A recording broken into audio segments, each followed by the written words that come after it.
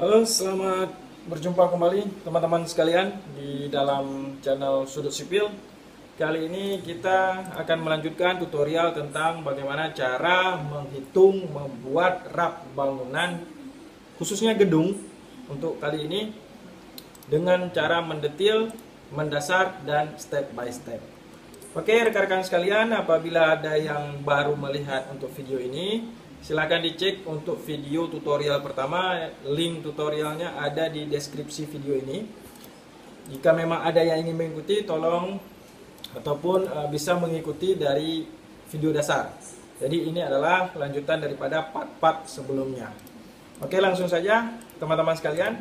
Sebagaimana pada part sebelumnya, kita sudah menghitung untuk rap ini adalah sampai dengan pekerjaan uh, pondasi dan tanah. Sub pekerjaannya adalah untuk pekerjaan pondasi tapak dulu. Yaitu item-itemnya adalah galian, pasir uruk, dan aan stamping. Aan stamping ini adalah pasangan batu kosong di atas eh, di atas pasir uruk sebagai penstabil. Oke.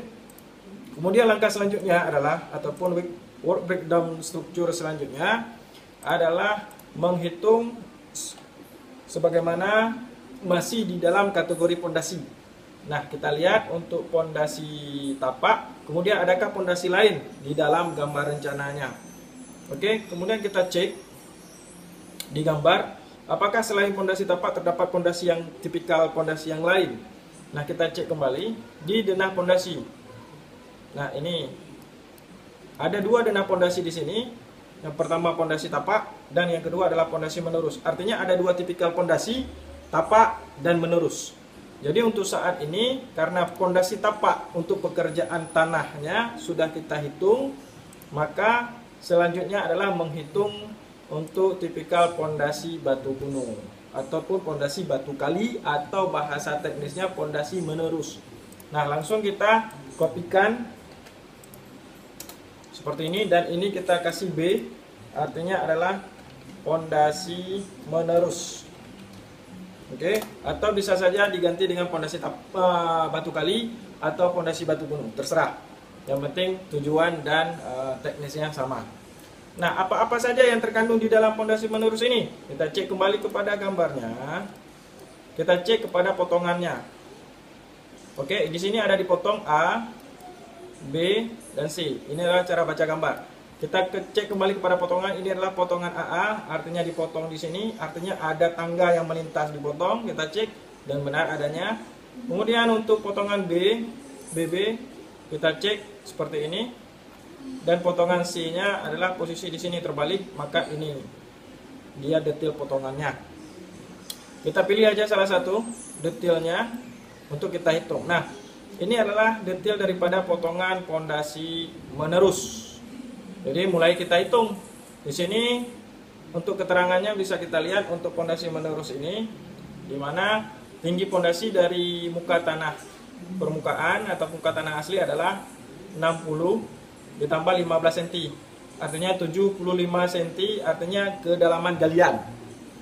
Kemudian untuk lebar galian adalah 60 10 10 artinya 80 cm untuk lebar galian.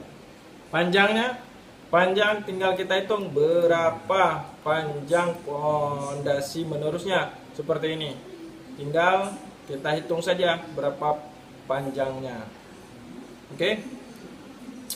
Nah, sahabat sekalian, langsung kita hitung untuk uh, itemnya. Itemnya sama. Pertama adalah galian tanah pondasi, kemudian pemasangan kita cek kembali pemasangan pasir alas atau pasir urupnya kemudian AAN stampingnya jadi ketiga item ini sama. Tinggal kita kopikan seperti ini. Oke? Namun yang berbeda adalah volumenya. Volume di sini berbeda. Kenapa? Ya berbeda ukuran berbeda dimensi dan berbeda bentuk. Jadi untuk yang pertama kita cek dulu galian tanah pondasi. Nah kita menuju ke form backup volumenya seperti ini. Nah, di mana di sini ada form pasir uru dan berjalan. Nah, kita copy form yang galian tanah pondasi. Kita langsung copy, move or copy, kemudian 2A1. kita klik copy dan kita letakkan di sini dan kita kasih adalah 2 2B 1 Nah, seperti ini.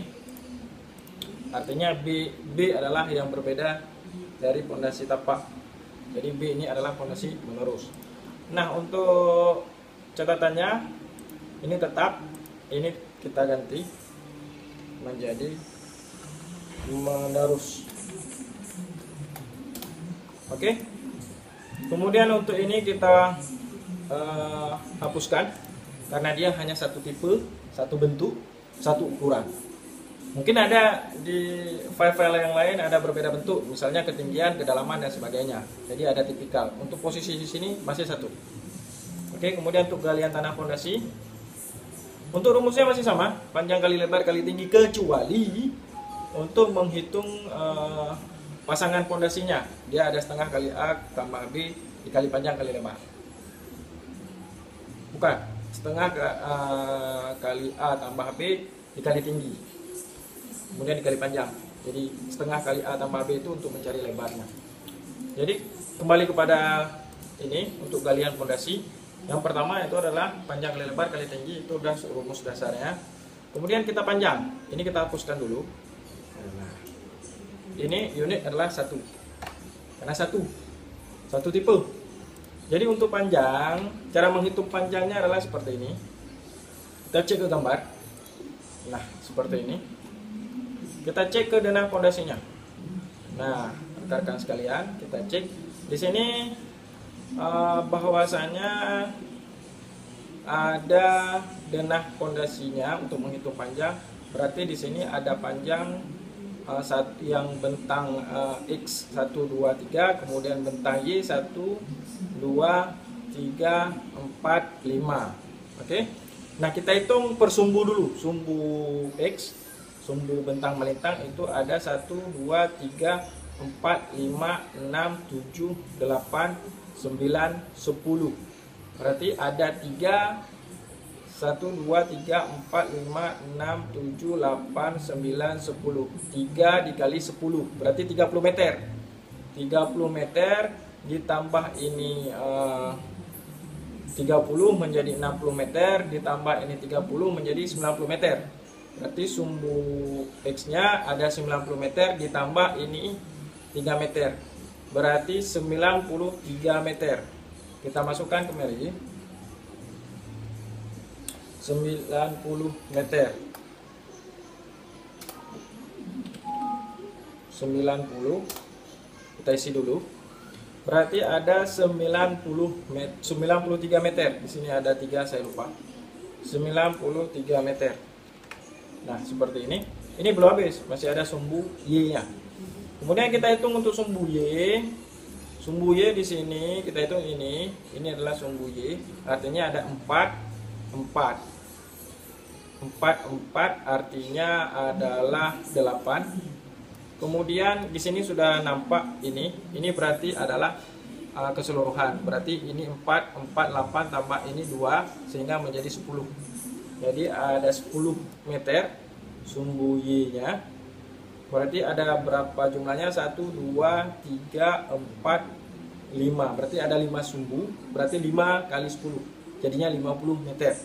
Jadi langsung kita isi di sini 50 meter.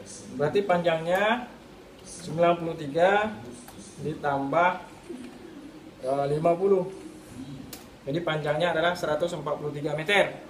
Lebarnya lebar tinggal kita lihat di tipikal potongannya. Nah lebarnya adalah 80 cm atau 0,80 meter. Untuk tingginya kita cek kembali tingginya adalah 60 ditambah 15 artinya 75 cm atau 0,75 seperti ini. Nah, hasilnya sudah langsung seperti ini atau jangan terpisah jauh. Ini kita hapus saja biar rekan-rekan sekalian uh, enak ikutinya. Kenapa ini seperti ini? Nah, ini adalah hasilnya jadi panjangnya adalah 143 panjang dari keseluruhan pasangan pondasi menerus. Kemudian lebarnya adalah 0,80 ini 80 cm lebar galiannya. Kemudian tingginya adalah 60 ditambah 15 menjadi 75 cm jadi tinggal kita panjang kali lebar kali tinggi hasilnya adalah 85,80 meter kubik. Nah langsung kita inputkan ke form rak kita. Seperti ini. Galian tanah pondasi menerus. Nah seperti ini. Dan uh, untuk tipika analisanya sama karena pondasi sama-sama menghitung dengan analisa uh, tipe galian uh, tanah dangkal. Nah seperti ini langsung tinggal kita kopikan ini oke ternyata ada yang enggak bisa kita copy seperti ini aja paste spesial value Oke, kemudian juga seperti ini. Masuk. Nah, ini tinggal kita kopikan. Oke. Sahabat sekalian jangan lupa save. Nanti hilang. Susah. Download lagi. Download lagi nggak ada yang udah sepanjang ini, gitu kan. Oke, dan hasilnya adalah 9.810 dengan harga satuannya adalah 103.000 dan volume kita adalah 85,80. Nah, selanjutnya ini ada dua item ini ini bisa teman-teman ikuti seperti yang item ini dua ini jadi ini bisa menjadi tugas ataupun ya belajar cara menghitungnya sendiri. Nanti saya akan lanjutkan di sini. Jadi ini nanti sudah ada jadwal uh, untuk part selanjutnya ini sudah terisi ya. Jadi buat tugas juga buat teman-teman sekalian yang mengikuti ini. Oke? Saya rasa untuk sekilas sudah sangat mendetail dan sangat mendasar sekali. Jadi bila ada pertanyaan silakan ditanyakan di uh, kolom komentar. Dan saya siap menjawab semampu saya, semaksimal mungkin. Oke, bila memang dirasa ini bermanfaat, silakan di-share dan di-subscribe.